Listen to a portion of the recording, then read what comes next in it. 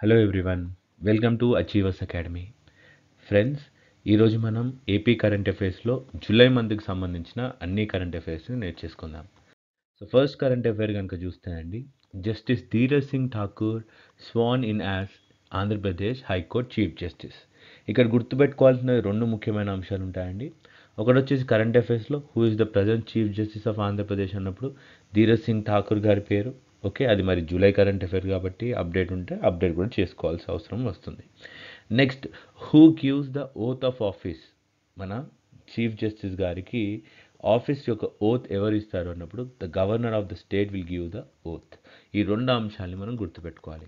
ఇంకా మరి ఆంధ్రప్రదేశ్ గవర్నర్ ఎవరు చీఫ్ జస్టిస్ ఎవరు అన్న రెండు అంశాలను గుర్తుపెట్టుకుంటే సరిపోతుంది. The second thing is about the political part that is who gives the oath now you see the justice Dhiraj Singh Thakur గారు చీఫ్ జస్టిస్ ఆఫ్ ఆంధ్రప్రదేశ్ హైకోర్టుగా నియమితులయ్యారు. ఈ యొక్క swearing in ceremony July twenty ఎయిత్న జరిగిందండి. తుమ్మలపల్లి కళాక్షేత్రంలో ఓకే? క్షేత్రయ కళాక్షేత్రంలో జరిగింది. మన గవర్నర్ అయినటువంటి ఎస్ అబ్దుల్ నజీర్ గారు ఆ యొక్క ఓతింగ్ సెరిమోనీలో వారికి ఓత్ ఇవ్వడం జరిగింది. మన గౌరవ ముఖ్యమంత్రి గారు కూడా అక్కడ ప్రజెంట్ ఉండే అండి.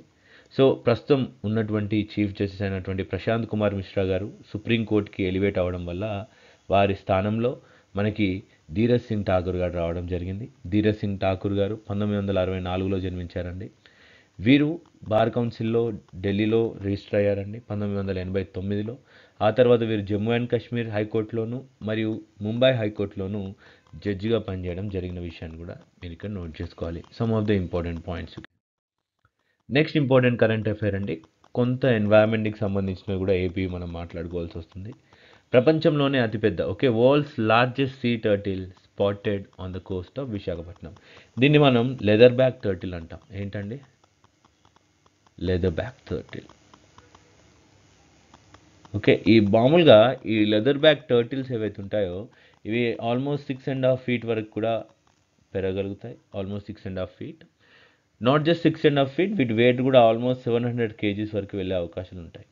జనరల్లీ ఇవి అండమాన్ అండ్ నికోబార్ ఐలాండ్స్లో మనకు ఎక్కువగా కనిపిస్తూ ఉంటాయి ఆంధ్రప్రదేశ్లో చాలా రేర్గా చూస్తూ ఉంటాం. అంత మాస్ నెస్టింగ్ కూడా ఇవి చేయవు కాబట్టి. సో బేసికలీ మీకు ఏ స్పీసీస్ని తీసుకున్నా ఆ స్పీసీస్కి ఐయుసిఎన్ స్టేటస్ ఇస్తుంది అనమాట అంటే వాటి యొక్క పాపులేషన్ ఎంత ఉంది వాటి యొక్క థ్రెట్ ఎట్లా ఉంది వాటి యొక్క ఫ్యూచర్ పాపులేషన్ ఏ విధంగా ఉండబోతుంది డిక్రీజ్ ఎలా ఉంది అనేవి అన్నింటినీ కన్సిడరేషన్ తీసుకొని international union for conservation of nature అనేది ప్రతి ఒక్క స్పీసీస్కి ఒక స్టేటస్ ఇస్తుంది.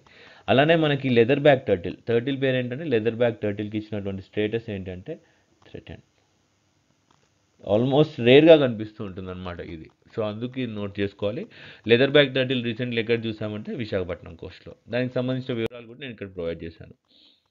World largest sea turtle washed to the shore at Thandi beach ఎక్కడికండి? Thandi beach ముప్పై కిలోమీటర్లో ఉంటుంది విశాఖపట్నంకి. చాలా అద్భుతమైన బీచ్ అక్కడ మనం చూస్తున్నాం. దాదాపు ఏడు సంవత్సరాల గ్యాప్ తర్వాత ఈ బీచ్లో మనం ఈ యొక్క లెదర్ బ్యాగ్ సీ టర్టిల్ మనం చూడ చూస్తున్నామండి. Okay leatherback sea turtle very రేర్గా కనిపిస్తుంది. మామూలుగా ఇవి అండమాన్ నికోబార్లో చూస్తూ ఉంటాం okay so leatherback sea turtle ఆరున్నర అడుగుల వరకు కూడా పెరగలుగుతుంది. దాదాపు ఏడు వందల కిలోగ్రాముల వెయిట్ ఉంటుంది. ఐయుసిఎన్ స్టేటస్ వచ్చేసి థ్రెటెండ్ ఇంపార్టెంట్ పాయింట్స్ని అండర్లైన్ చేస్తున్నాను. ఓకే రీసెంట్లీ యూఎస్ వాళ్ళు US based national oceanic atmosphere administration వాళ్ళు చేసినటువంటి రీసెర్చ్ ప్రకారం గడిచినటువంటి మూడు జనరేషన్స్లో దాదాపు వీటి యొక్క పాపులేషన్ నలభై శాతం పైగా పడిపోయింది. అన్న విషయాన్ని కూడా మీరు నోట్ చేసుకోవాలి. ముఖ్యంగా వీటికి ఉన్నటువంటి థ్రెట్ ఏంటి అంటే ఫిషింగ్ యాక్టివిటీస్ వల్ల ఎక్సెసివ్ ఫిషింగ్ వల్ల ఆ ఫిషింగ్ నెస్లో ఇరుక్కొని చనిపోవడం human induced issues like egg collection వీటి యొక్క గుడ్లని తినడానికి వాడడము లేదా ప్లాస్టిక్ తినడం ద్వారా ఇవి చనిపోవడము ఇలాంటి కారణాల వల్ల ఈ జీవి అనేది అంతరింపి అంతరించిపోయే అవకాశాలు కూడా ఎక్కువగా ఉన్నాయన్న విషయాన్ని నోట్ చేసుకోవాలి.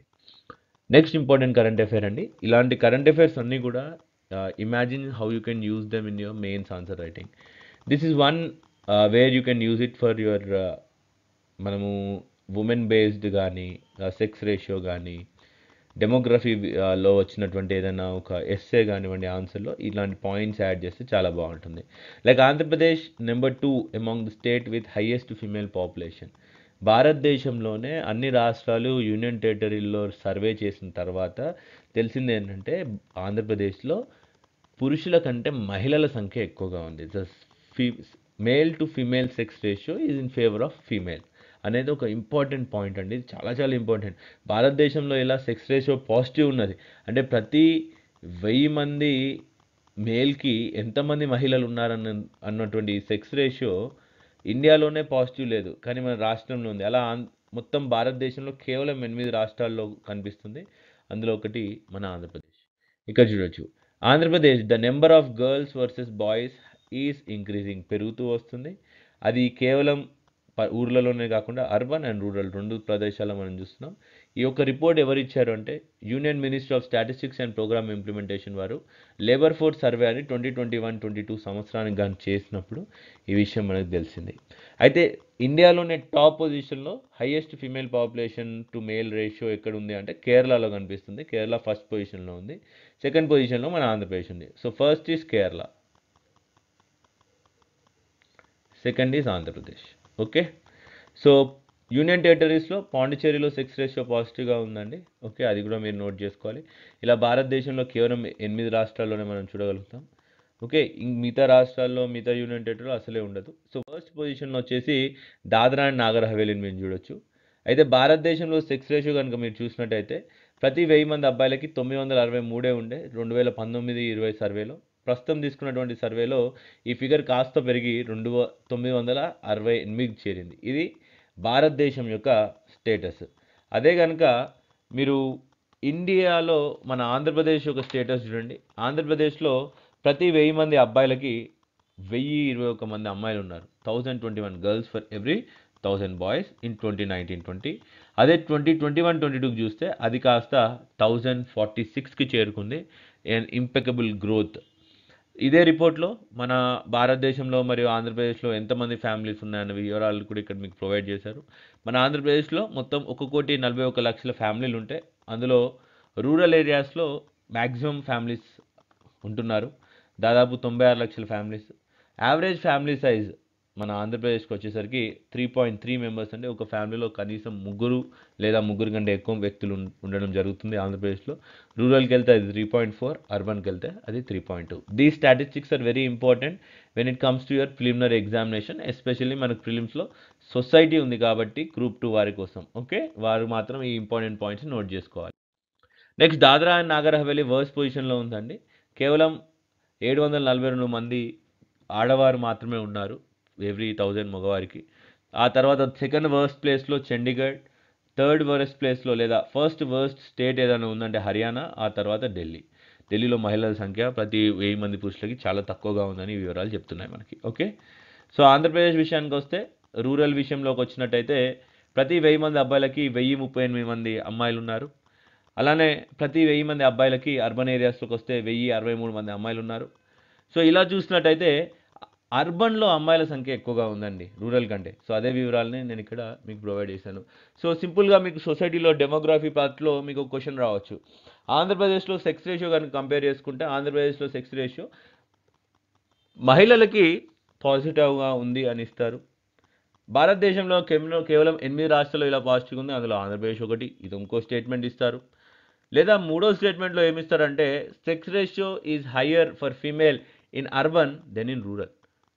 మనకి అర్బన్ ఏరియాస్లో సెక్స్ రేషియో ఉమెన్కి భారీ భారీగా పాజిటివ్గా ఉంది. కంపేర్ చేస్తే దేనికి కంపేర్ చేస్తే? రూరల్ కంపేర్ చేస్తే ఒక స్టేట్మెంట్ ఇస్తారు. అది కరెక్టే సో ఇలా స్టేట్మెంట్ బేస్డ్ ఆన్సర్స్లో ఇలాంటి ఇన్ఫర్మేషన్ అనేది మీకు చాలా చాలా హెల్ప్ఫుల్గా ఉంటుంది. దీన్ని కూడా మీరు నోట్ చేసుకోవాలి. Next very important current affair అండి. మన ప్రధానమంత్రి నరేంద్ర మోడీ గారు Sai Hira global convention centre in పుట్టబర్తిని online మోడ్లో లాంచ్ చేయడం జరిగింది. డిజిటల్ మోడ్లో లాంచ్ చేశారు. సో ఏంటండి? Sai Hira global convention centre. Basically spiritual convention centre science convention centre కూడా అనుకోవచ్చు మనం. సో మోడీ గారు ఈ యొక్క ఇనాగురేషన్లో మాట్లాడుతూ మనం అమృత్ కాల్లోకి వెళ్ళబోతున్నాం. అంటే వచ్చే వంద సంవత్సరాలు మన భారతదేశం యొక్క సంవత్సరాలు. మనం అందులో అమృత్ కాల్ అని పిలుస్తున్నారు. దాని వారు కర్తవ్య కాల్ అని కూడా పిలిచారు.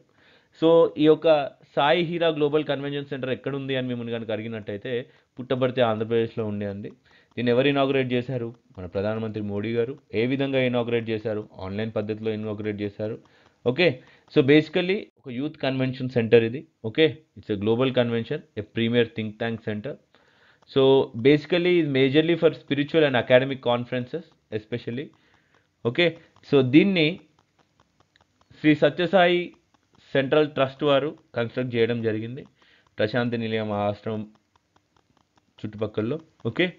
సో ఈ యొక్క కాన్ఫరెన్స్ హాల్లో మనకి మెడిటేషన్ హాల్స్ గార్డెన్స్ ఇలాంటి అద్భుతమైన ఫెసిలిటీస్ కూడా ఉన్నాయని ఇందులో నేను కొన్ని ఇంపార్టెంట్ వివరాలు కూడా ఇచ్చాను. ఈ యొక్క డొనేషన్స్ కూడా శ్రీ రూకో హీరా గారు ఈ యొక్క కన్వెన్షన్ సెంటర్ని నిర్మించేందుకు వారి యొక్క డొనేషన్స్ కూడా వారు ఇవ్వడం జరిగింది. సో మిగతా వాటిని మీరు నోట్ చేసుకోండి. అంతగా ఇంపార్టెంట్ కాదు. So whatever important I have so next current affair అండి. Rock art in Rudragiri. Rudragiri ప్రదేశంలో మనకి కాకతీయ కాలం నాటి రామాయణానికి సంబంధించినటువంటి రాక్ ఆర్ట్స్ అద్భుతంగా మనకు అక్కడ కనిపించాయండి. ఓకే? ఈ యొక్క రాక్ ఆర్ట్ యొక్క స్పెషాలిటీ ఏంటంటే అండి ఇది కాకతీయ కాలం నాటిదే కావచ్చు. కానీ వీటిని గీసినటువంటి ఏదైతే ఆ యొక్క రాయి ఏదైతే ఉందో ఆ రాక్ ఏదైతే ఉందో ఆ రాక్ మీద మిసోలిథిక్ ఎరాకి అంటే పూర్వకాలపు మనిషి డ్రా చేసినటువంటి డయాగ్రామ్స్ కూడా మనం ఇక్కడ కన్ కనిపిస్తూ ఉంటాయి అన్నమాట so that's why we have to learn about the place call Rudragiri. Basically ఇది గుంటూరు జిల్లాకు చెందినటువంటి ప్రాంతం అండి. ఈస్టర్న్ ఘాట్స్ హిల్స్లో మనకు కనిపిస్తూ ఉంటుంది ఇక్కడ Guntur. Eastern Ghats okay simple short ఫామ్లో రాస్తాను. ఇన్ఫర్మేషన్ మళ్ళీ నేను టైప్ ఆఫ్ ఫార్మాట్లో ఎలా అయితే ఇస్తానో అలానే ఇచ్చాను. So Andhra Pradesh on a Rudragiri hillock దాదాపు థర్టీన్ హండ్రెడ్ ఏడి కాకతీయ ఏరాకు చెందినటువంటి ఒక మిరో మురల్ పెయింటింగ్ మనం ఇక్కడ కనిపిస్తుంది. దీన్ని ఒక మిసోలిథిక్ రాక్ పెయింటింగ్ పైన డ్రా చేయడం జరిగింది. ఇందులో మనం రామాయణ పర్వంలో ఉన్నటువంటి వాలి సుగ్రీవ యొక్క యుద్ధాన్ని ఇక్కడ మనం డెపిక్ట్ చేస్తున్నాం. ఆ పిక్చర్లో మీరు ఆ పిక్చర్లో కూడా చూడొచ్చు బ్యాక్ వెళ్ళి ఓకే సో ఇది కాకతీయ యొక్క ఆర్టిస్టిక్ లెగసీని మనకు చూపిస్తుంది. How Ramayana was important for Kakatiya era so సింపుల్గా ఇందులో ఎలా క్వశ్చన్ వస్తుందంటే వాలి సుగ్రీవులకు సంబంధించినటువంటి యుద్ధాన్ని కాకతీయ సంబంధించిన ఒక డ్రాయింగ్ని రీసెంట్లీ ఎక్కడ కనుగొంటారు అంటే Rudragiri hillock okay? So Rudragiri hillock basically ఈ యొక్క రుద్రగిరి హిల్లాక్లో పెయింటింగ్స్ యొక్క ఇంపార్టెంట్ ఏంటి అంటే అండి చాలా వేరియస్ కలర్స్ని వెరైటీ ఆఫ్ కలర్స్ని ఇక్కడ యూజ్ చేయడం జరిగింది ఓకే? సో కలర్ బ్రిలియన్స్ కూడా దాదాపు మనకి ఏడు వందల ఎనిమిది వందల సంవత్సరాలు అయినప్పటికీ ఇప్పటికీ ఆ కలర్స్ని మనం చూడగలుగుతున్నాం అనమాట సో రుద్రగిరి హిల్లాక్ ఇది ఒరవకల్లు విలేజ్ ప్రాంతంలో అచ్చంపేట్ మండల్ గుంటూరు జిల్లాలో మనకు కనిపిస్తుంది ఈ రుద్రగిరి హిల్లాక్ ఈస్టర్న్ ఘాట్కి చెందినటువంటి హిల్లాక్ ఒక ముఖ్యమైన ఆర్కియాలజికల్ సైట్ ఓకే ఇక్కడ మిసోలిథిక్ పెయింటింగ్స్ దాదాపు మనకి ఫైవ్ థౌజండ్ బీసీ అనుకుంటే దాదాపు నేటి నుంచి చూసుకున్న ఏడు వేల సంవత్సరాల కాలం నాటి పెయింటింగ్స్ని కూడా మనకి ఇక్కడ చూడవచ్చు. గణపతి దేవ మహారాజ్ గారు ఎవరైతే కాకతీయ రూలర్ ఉన్నారో గణపతి దేవ మహారాజ్. సో వీరి ప్యాటర్నైజేషన్ కింద ఈ ప్రదేశంలో ఇలాంటి రిచ్ ఆర్ట్ అనేది వారు ప్రోత్సహించడం ద్వారా మనం ఈరోజు చూడగలుగుతున్నాం. Okay so next important current affair అండి. Establishment of advance science and technology museum at Kailasagiri Visakhapatnam so recently అండి ఈ సైన్స్ మ్యూజియంస్ని ఎవరు నిర్మిస్తారు అనేది కూడా మీరు తెలుసుకోవాలి. ఏ మినిస్ట్రీ అనేది సైన్స్ మ్యూజియంస్కి డబ్బులు ఇస్తుంది లేదా ఎంకరేజ్ చేస్తుంది అనేది చాలా చాలా ఇంపార్టెంట్ క్వశ్చన్. అందరు కూడా ministry of science and technology వీళ్ళే ఇస్తారు కదా సైన్స్ మ్యూజియం? అలా కాదండి. మినిస్ట్రీ ఆఫ్ కల్చర్ వాళ్ళు ఇస్తారనమాట బేసికలీ సైన్స్ మ్యూజియంకి అందుకు ఇది ఇంపార్టెంట్. సో ఆంధ్రప్రదేశ్లో సైన్స్ మ్యూజియం ఎక్కడ నిర్మించబోతున్నారని మిమ్మల్ని అడిగితే కైలాసగిరి విశాఖపట్నంలో. Very very important. So ministry of culture వాళ్ళు దీనికి సంబంధించినటువంటి క్లియరెన్స్ ఇచ్చారండి science museum. Science museum basically సైన్స్కి సంబంధించినటువంటి art artifacts interactive based knowledge కోసం స్టూడెంట్స్కి సంబంధించినటువంటి అన్ని అద్భుతమైన ఒక కలయిక అని మనం చెప్పుకోవచ్చు. ఓకే దీనికి సంబంధించిన గ్రాంటీనేట్స్ ఎవరు ఇస్తున్నారు? Ministry of culture government of India వారు. దాదాపు నాలుగు కోట్ల పైచిల్పు ప్రాజెక్ట్ ఇది. దానికి మూడు కోట్ల రూపాయలు పైచిల్పు డబ్బులు సెంట్రల్ గవర్నమెంట్ ఇచ్చింది. ఫోర్ క్రోర్ ప్రాజెక్ట్ అందులో three crore central government already ఇచ్చేసింది. మిగతావి స్టేట్ గవర్నమెంట్ అనేది పెట్టుకోవాల్సి వస్తుంది. ఇక్కడ మనం three art gallery silica mould realistic statues augmented reality artistic cultural importance of science ఇవన్నీ కూడా మనం చూడవచ్చు. ఈ యొక్క science మ్యూజియంని umbrella scheme of museum development కింద రెండు వేల ఇరవై రెండు ఇరవై మూడు కింద మనం ప్రొవైడ్ చేస్తున్నాం. This category three at Kailasagiri Visakhapatnam okay so దానికి సంబంధించిన వివరాలు ఎక్స్ట్రా కూడా మీరు చూడొచ్చు. దాదాపు నాలుగు కోట్ల అరవై తొమ్మిది లక్షల ప్రాజెక్ట్ దాంట్లో మూడు కోట్ల డెబ్బై ఐదు లక్షల ఇరవై వేల రూపాయలు సెంట్రల్ గవర్నమెంట్ వారు ఇవ్వడం జరుగుతుంది. మిగతావి తొంభై మూడు లక్షల రూపాయలు ఆంధ్రప్రదేశ్ స్టేట్ గవర్నమెంట్ వారు వారి తరపున ఇవ్వడం జరుగుతుంది. So soon we're gonna see science museum ఎక్కడ అంటే Kailashgiri Visakhapatnam. So next important current affair అండి. Centre has approved eleven food processing units FPUs అంటే food processing units okay so ఆంధ్రప్రదేశ్లో ఫుడ్ ప్రాసెసింగ్ యూనిట్స్ని ఎంకరేజ్ చేసేందుకు అలానే మనము కోవిడ్ టైంలో ఆత్మనిర్భర్ భారత్ కింద formalisation of micro food processing industries అని. ఏంటంటే formalisation of micro food processing industries అని ఒక స్కీమ్ చూసాము. సో ఇలాంటి వాటిని ఎంకరేజ్ చేసేందుకు అలానే మనకి బేసికలీ ఇన్సెంటివ్ స్కీమ్స్ ఉంటాయన్నమాట. ఓకే ఆ ఇన్సెంటివ్స్ని కూడా పొందుతూ ఆంధ్రప్రదేశ్లో మనం పండిస్తున్నటువంటి పంటల్ని కానివ్వండి ఇతర హార్టికల్చర్ అండ్ ఎనిమల్ హస్బెండరీ ప్రోడక్ట్స్ని ఇంకా బెటర్గా ప్రాసెస్ చేసి వాటిని వాల్యూ అడిషన్ చేసి ఎకనామీని పెంపొందించుకునేందుకు ఇవి ఎంతగానో ఉపయోగపడుతూ ఉంటాయి అనమాట so you can also write them in your mains answers మనం ఎకనామీ ఆన్సర్స్ రాసేటప్పుడు ఫుడ్ ప్రాసెసింగ్కి మనం సెంటర్ నుంచి తెచ్చుకున్న అప్రూవ్స్ ఇన్సెంటివ్స్ ఏ విధంగా వస్తున్నాయన్న పాయింట్స్ రాస్తే చాలా అద్భుతంగా ఉంటాయి. So you can see eleven food processing industries అండి.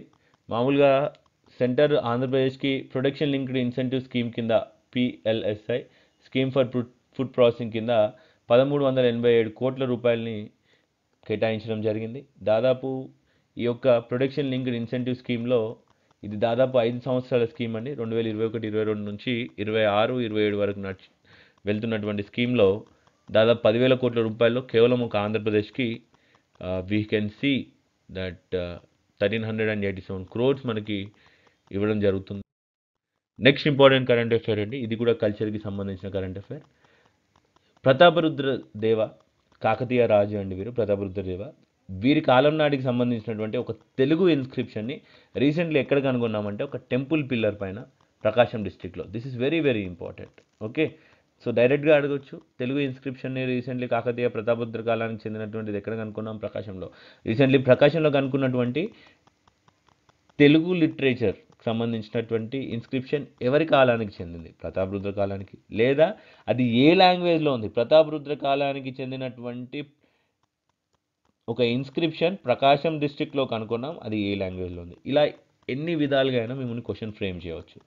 దాదాపు థర్టీన్ సెంచరీ అండి. ప్రతాపరుద్ర కాలానికి చెందినటువంటి ఒక ఇన్స్క్రిప్షన్ తెలుగులో ఉంది.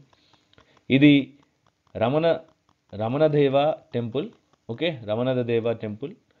మనకు దోనకొండ మండల్ ప్రకాశం డిస్టిక్లో మనం ఇది చూడవచ్చు. Okay? Kocharlakota village. Very very important ఇది కాకతీయ రాజులు చూపించినటువంటి చారిటీ గురించి మాట్లాడుతుందని ఇన్స్క్రిప్షన్ దేని గురించి మాట్లాడుతుంది అని కూడా ఒక క్వశ్చన్ అడగచ్చు. దేని గురించి వాళ్ళు చేసినటువంటి చారిటీ దాన ధర్మాల గురించి మాట్లాడుతుంది. బేసికలీ ఈ ఇన్స్క్రిప్షన్ పైన ఏమని రాస్తుందంటే సాకా ఎరా పంతొమ్ పన్నెండు వందల ఇరవై అంటే దాదాపు పంతొమ్మిది పన్నెండు వందల తొంభై తొమ్మిది ఫిబ్రవరి ఇరవై తొమ్మిది నాటిన ఈ యొక్క ఇన్స్క్రిప్షన్ని రాసామని చెప్తున్నారు.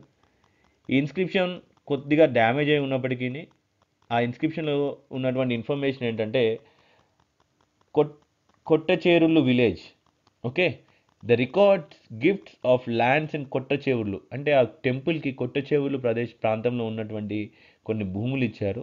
తద్వారా భగవంతుడు ఎవరైతే గాడ్ ముల్లమన మహాదే మాధవదేవ ఓకే? ముల్లమన మాధవదేవ ఈ దేవుడికి వారు ల్యాండ్ ప్రొవైడ్ చేశారు. తద్వారా భగవంతునికి ప్రతిరోజు నైవేద్యాలకి ఎటువంటి లోటు రాకుండా ఉండేందుకు ప్రతాపరుద్రదేవ గారి ప్ర సమయంలో ఈ యొక్క ల్యాండ్ డొనేషన్ ఎవరు చేశారు అంటే మత్స్య నాయక. ఓకే? ఎవరు చేశారు? మత్స్య నాయక్ గారు చేశారు అన్న విషయాన్ని కూడా మీరు ఇక్కడ నోట్ చేసుకోవాలి. సింపుల్. సో మత్స్య నాయక ఇది వన్ థింగ్. గాడ్ మూల మన మా మాధవదేవ. ఓకే? మూల మన మాధవదేవ భగవంతునికి ఈ యొక్క ఇన్స్క్రిప్షన్లో ల్యాండ్ డొనేట్ చేశారన్న విషయాల్ని మీరు నోట్ చేసుకోండి. నెక్స్ట్ ఇంపార్టెంట్ కరెంట్ అఫేర్ అండి. వీరిని మీరు తరచుగా న్యూస్లో చూస్తుంటారు. She an athlete from Andhra Pradesh her name is Jyothi Yarraji okay if I pronounce wrong I'm sorry Jyothi Yarraji garu. వారికి ఏషియన్ అథ్లెటిక్ మీట్లో గోల్డ్ మెడల్ వచ్చిందండి. వీరు జ్యోతి ఎర్రాజీ గారు పార్టిసిపేట్ చేసేటటువంటి స్పోర్ట్ ఏది అంటే hundred metre hurdles okay hurdles very very important so వీరు gold medal సాధించినందుకు ఏషియా అథ్లెటిక్ మీట్లో మన గౌరవ ముఖ్యమంత్రి అయినటువంటి వైఎస్ జగన్మోహన్ రెడ్డి గారు వీరికి కంగ్రాచులేట్ చేయడం జరిగింది. ఓకే సో ఈ యొక్క ఏషియన్ అథ్లెట్ ఛాంపియన్షిప్ ఎక్కడ జరిగిందంటే బ్యాంకాక్లో జరిగిందండి. It is the twenty fifth Asian athletic championship Thailand and she won gold medal in hundred metre hurdles event ఇది కూడా గుర్తుపెట్టుకోండి. So Jyothi Yarraji garu twenty eighth August nineteen ninety నైన్లో ఆంధ్రప్రదేశ్లో జన్మించడం జరిగిందండి. ఓకే? సో వీరు చాలా మల్టిపుల్ రికార్డ్స్ బ్రోక్ చేశారు హండ్రెడ్ మీటర్ హర్డిల్స్కి సంబంధించి. సో ఈ రెండు మాత్రం గుర్తుపెట్టుకోండి. జ్యోతి ఎర్రాజు గారు సంబంధించిన sport hundred metre hurdles she won gold medal at Asian athletic championship happen in Bangkok okay? Bank so next important current affair అండి. ఆంధ్రప్రదేశ్కి చెందినటువంటి స్టార్ బ్యాడ్మింటన్ ప్లేయర్ అటువంటి సాత్విక్ సాయిరాజ్ గారు రీసెంట్లీ ఒక రికార్డుని బద్దలు కొట్టారు. He is the world's fastest badminton hit. Okay so Satwik smashes Guinness world record with fastest badminton hit. దాదాపు ఐదు వందల పైగా కిలోమీటర్ స్పీడ్లో కిలోమీటర్ పర్ హవర్ స్పీడ్లో వీరు వారి ర్యాకెట్తో షటిల్ కాక్ని హిట్ చేయడం జరిగింది. అందుకుగాను వీరి యొక్క పేరు గిన్నిస్ వరల్డ్ రికార్డులోకి ఎక్కింది. ఆ వివరాలు చూద్దాం. Star Indian shuttler Satwik Sairaj Rankireddy garu Guinness world రికార్డ్ని సొంతం చేసుకున్నారండి. వీరు దాదాపు ఐదు వందల అరవై ఐదు kilometre per hour. This is very important. ఈ నెంబర్ చాలా ఇంపార్టెంట్ నోట్ చేసుకోవాలి.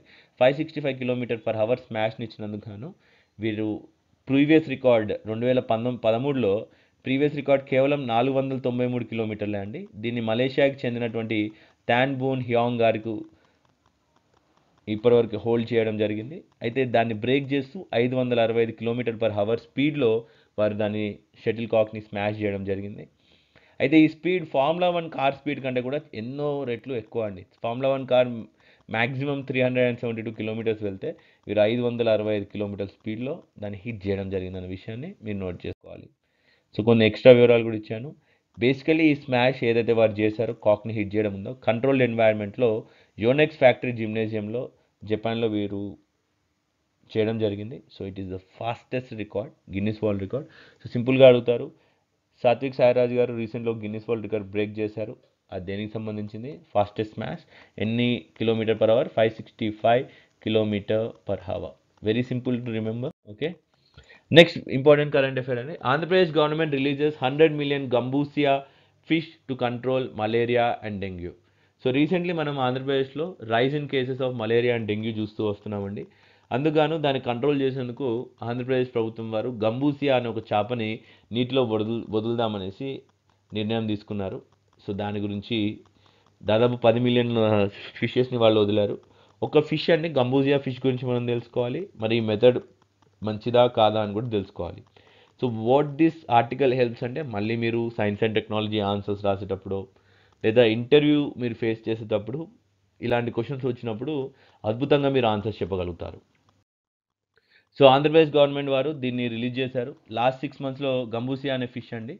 Gambusia is a variety of fish చాలా చిన్న ఫిష్ అండి. సెవెన్ సెంటీమీటర్స్ వరకు గ్రో అవుతుంటాయి. పెద్దగా కూడా పెరగవు. Basically they are invasive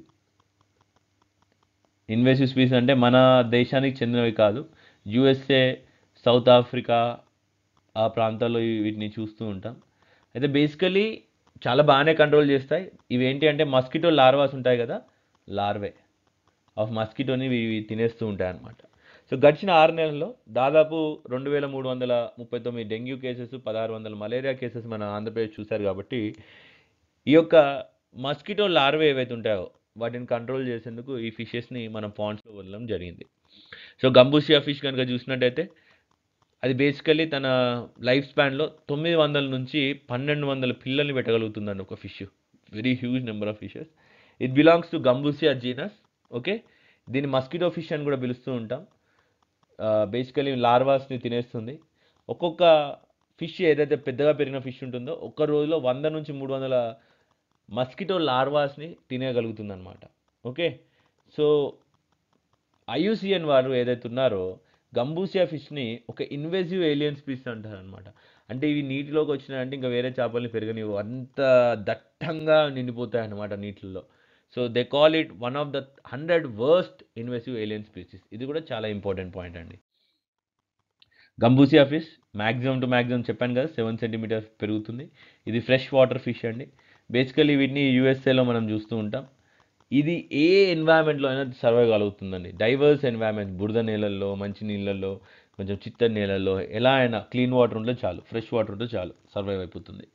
okay so దీనికి ఉన్నటువంటి కన్సర్న్స్ ఏంటంటే అండి గబ్బూసియా ఫిష్ వచ్చేసి దాదాపు వంద సంవత్సరాల నుంచి మలేరియాను కంట్రోల్ చేయడానికి మనం యూజ్ చేస్తున్నప్పటికీ ఇదంతా ఎఫెక్టివ్ అని ఎక్కడా నిరూపించడం లేదు. డేటా అవైలబుల్గా లేదు. కేవలం వీటిపైనే డిపెండ్ అయి మాత్రం ఉండలేమండి. వేరే అదర్ మెథడ్స్ కూడా ఉపయోగించాలన్నది కూడా ఇక్కడ మనం ఒక ఇంపార్టెంట్ పాయింట్ని నోట్ చేసుకోవాలి ఓకే ఎఫెక్టివ్గా ఎక్కడ స్టడీ చేయలేదు ఇంకా. అసలు మరి నిజంగానే చేస్తుందా? మరి ఫిష్ ఈ ఫిష్ వేరే ఫిష్ని ఏ విధంగా ఎఫెక్ట్ చేస్తుందా? రీసెర్చ్ స్టడీ లేదు కాబట్టి. So it's very bit of risky okay next important current affair అండి Jagananna Amma Vodi scheme this is also important scheme recently ఇది న్యూస్లో నిలిచింది. సో జగనన్న అమ్మఒడి స్కీమ్ అండి దీన్ని ninth January twenty twenty okay ninth January twenty ట్వంటీన మన YS Jaganmohan Reddy గారు launch చేయడం జరిగింది. జగనన్న అమ్మఒడి కింద ప్రతి సంవత్సరం ఒక్కో విద్యార్థికి పదిహేను వేల రూపాయలు ఇవ్వడం జరుగుతుంది. ఇందులో పద్నాలుగు వేల రూపాయలు డైరెక్ట్ వారి యొక్క తల్లి యొక్క అకౌంట్లో పడతాయి. వెయ్యి రూపాయలు మాత్రం డైరెక్ట్ స్కూల్ అకౌంట్లో పడుతుంది as the district toilet management fund DTM okay so దాంట్లోకి పడుతుంది అనమాట మన ఆంధ్రప్రదేశ్ స్కూల్ ఎడ్యుకేషన్ డిపార్ట్మెంట్ వారు దీన్ని మెయింటైన్ చేస్తుంటారు. ఫస్ట్ క్లాస్ నుంచి ట్వెల్త్ క్లాస్ చదివేటటువంటి పిల్లలకి ఈ యొక్క స్కీమ్ అప్లికేబుల్ అవుతుంది. Okay this is basically to increase the gross enrolment ratio from primary and secondary and higher ఎడ్యుకేషన్లో పెంచేందుకు ఈ స్కీమ్ యొక్క మేజర్ ఎయిమ్ సో బెనిఫిట్ చూసినట్టయితే పద్నాలుగు వేల రూపాయలు డైరెక్ట్ బెనిఫిషియరీ అకౌంట్లో పడిపోతుంటాయి ప్రతి సంవత్సరం. కానీ ఒక వెయ్యి రూపాయలు మాత్రం మనకి డిస్ట్రిక్ట్ టాయిలెట్ మేనేజ్మెంట్ ఫండ్కి వెళ్ళిపోతుంది. అది డిస్టిక్ కలెక్టర్ గారి ఆధ్వర్యంలో ఉంటుందన్న విషయాన్ని కూడా మీరు నోట్ చేసుకోవాలి. సో ఈ స్కీమ్ యొక్క వివరాల్లోకి వెళ్తే కొంత ఎలిజిబిలిటీ క్రైటీరియా కూడా చూసుకుందాం. ఈ యొక్క స్కీమ్ని పొందాలనుకుంటే వారు ఆంధ్రప్రదేశ్ సిటిజన్ అయి ఉండాలి. ఫ్యామిలీ బిలో పోవర్టీ లైన్ వాళ్ళు అయి ఉండాలి. రూరల్ ఏరియాస్లో అయితే నెలకి పదివేల రూపాయల కంటే ఎక్కువ సంపాదన ఉండకూడదు. అర్బన్ ఏరియాస్లో అయితే పన్నెండు వందల రూపాయలు. అది బెనిఫిషియరీ యొక్క వైట్ రేషన్ కార్డ్ పొందినటువంటి మహిళా అకౌంట్లోకి వెళ్ళిపోతుంది. ఓకే? ఈ యొక్క గవర్నమెంట్ ఎంప్లాయీ ఫ్యామిలీకి చెందిన వాళ్ళు అయి ఉండకూడదు. No family member should be government employ or a pensioner okay? The families of sanitary workers are exempted అంటే శానిటరీ వర్క్ చేస్తున్న వారు గవర్నమెంట్ ఎంప్లాయీస్ అయినా కూడా పర్లేదు. ఓకే వాళ్ళ ఫ్యామిలీకి చెందినటువంటి వాళ్ళు ఎవరైనా గవర్నమెంట్ ఎంప్లాయీస్ అయినా పర్లేదు. సో వారికి ఫోర్ వీలర్స్ ఉండకూడదు. ట్యాక్సీస్ ట్రాక్టర్స్ ఆటోస్ కూడా.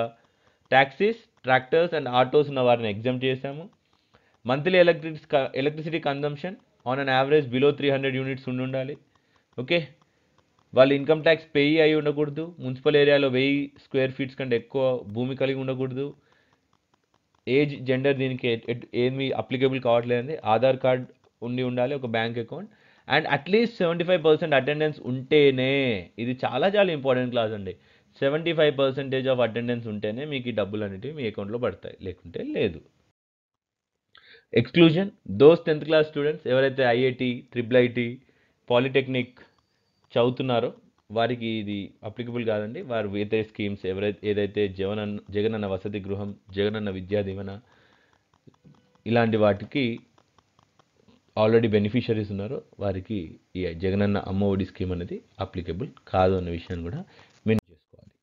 So very next important current affair అండి. చాలా చాలా important current affair it could come in your preliminary exam recently animal health leadership award అనేది మన ఆంధ్రప్రదేశ్ గవర్నమెంట్కి ఇవ్వడం జరిగింది. ఈ ఎనిమల్ హెల్త్ లీడర్షిప్ సమ్మిట్ అనే ఒక సమ్మిట్ జరుగుతుందండి. ఎవ్రీ ఇయర్ జరుగుతుంది. Every year this is second year second summit second time it happening in India so Andhra Pradesh government వారు తీసుకున్నటువంటి ఇనిషియేటివ్స్కి గాను వెటర్నరీ మేనేజ్మెంట్లో తీసుకున్నటువంటి ఇనిషియేటివ్స్ గాను ఈ యొక్క అవార్డు ఇవ్వడం జరిగింది. So India animal health summit twenty twenty three ఢిల్లీలో జరిగింది ట్వంటీ సిక్స్ జులై సో అక్కడ ఈ అవార్డు అనేది ఇవ్వడం జరిగింది. అది చాలా చాలా ఇంపార్టెంట్ మనం చూస్తూనే ఉన్నాం.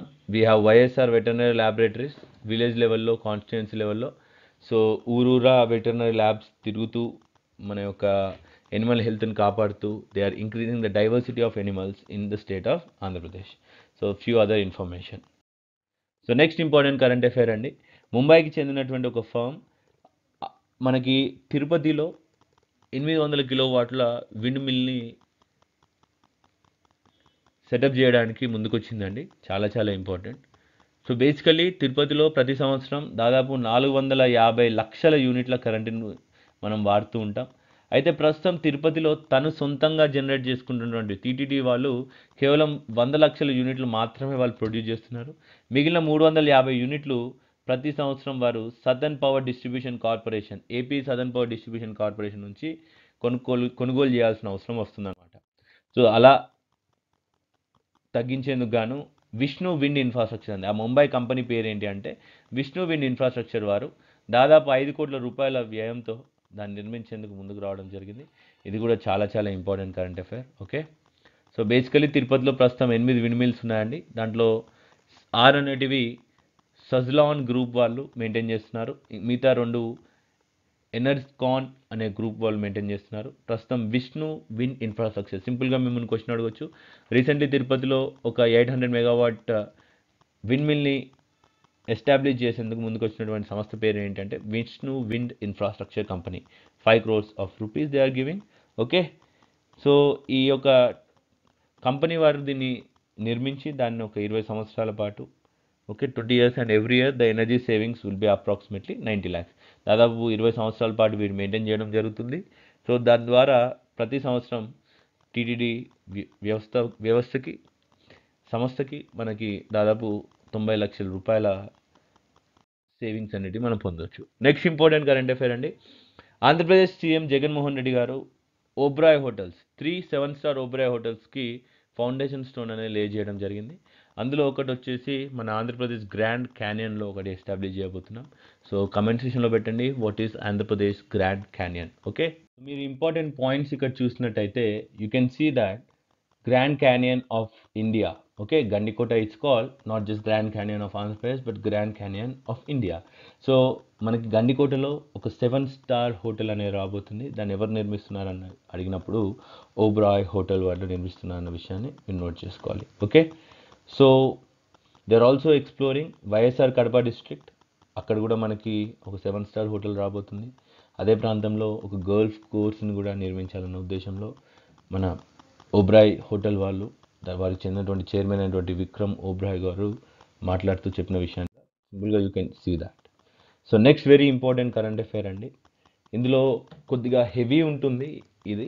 So I hope you will note down all the industries which are being established మీకు జాగ్రఫీ పరంగా చూసినట్టయితే it is very important for your group two prelims and also for your group one mains let's state investment promotion board వాళ్ళు ఎనిమిది ప్రాజెక్ట్స్కి clearance ఇచ్చారండి.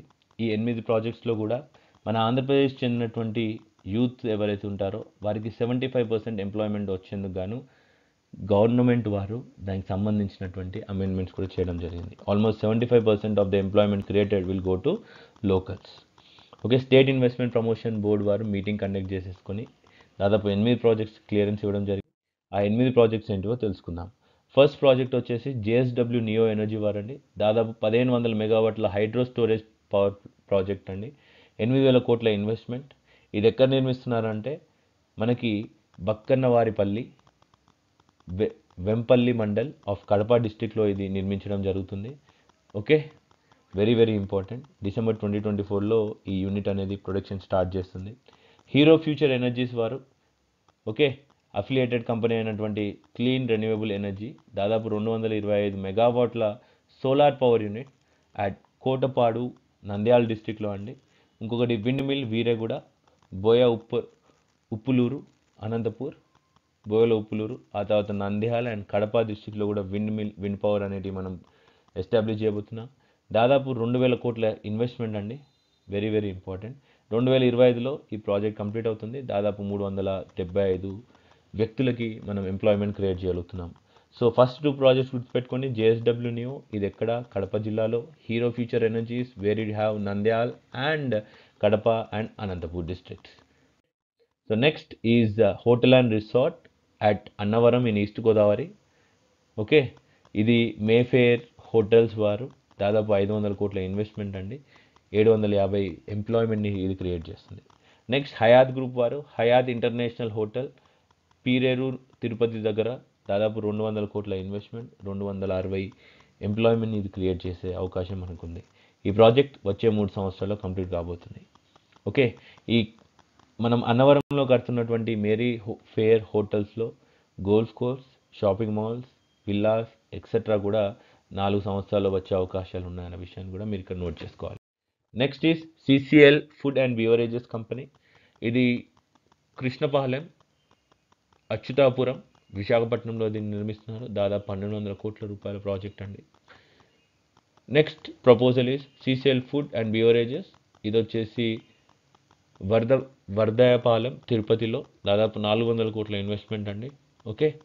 ఇది coffee produce చేసేందుకు ఇది ఒక ఇన్వెస్ట్మెంట్ అండి. Okay?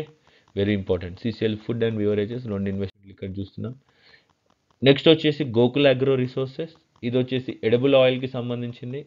ఇది కృష్ణపట్నం నెల్లూరు డిస్టిక్లో మనం ఇన్వెస్ట్ చేస్తున్నారు. దాదాపు రెండు వందల కోట్ల రూపాయల project next Gokul agro is cocoa butter and powder making ఇది సిరీ సిటీ తిరుపతిలో మనం చూడబోతున్నాం. So these are all the very important air projects so next important current affair అండి.